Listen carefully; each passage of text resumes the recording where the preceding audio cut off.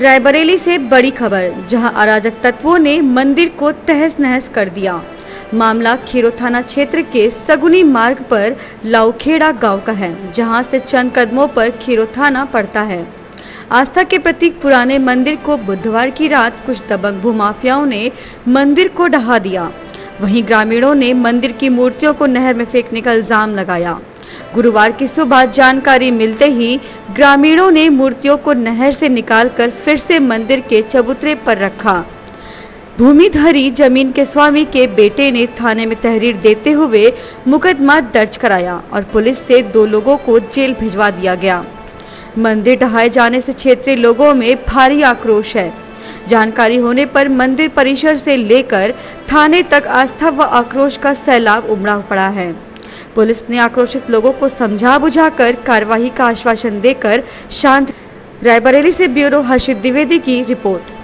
अजय कुमार गुप्ता और गुड्डू नाथ क्या हुआ?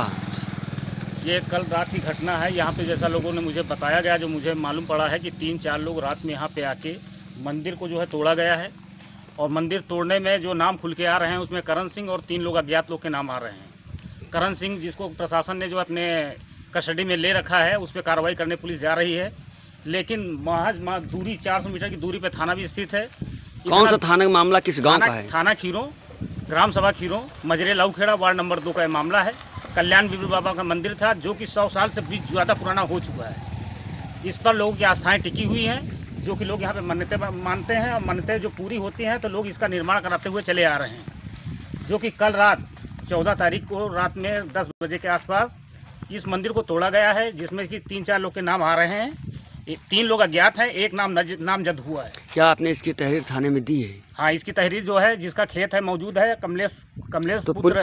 पुलिस ने क्या किया कार्रवाई अभी पुलिस ने अभी कार्रवाई इस पे जो है एफ़ ले ली गई है। अभी उस पे जो है अविलंब कार्रवाई करने का जो है हम लोग को जो है आश्वासन दिया गया है।